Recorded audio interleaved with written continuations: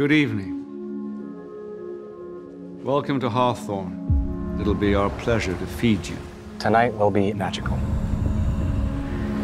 Over the next few hours, you will ingest fat, salt, protein, and at times entire ecosystems. We're eating the ocean. We're eating the ocean. Are you crying? It's just I find it all very moving.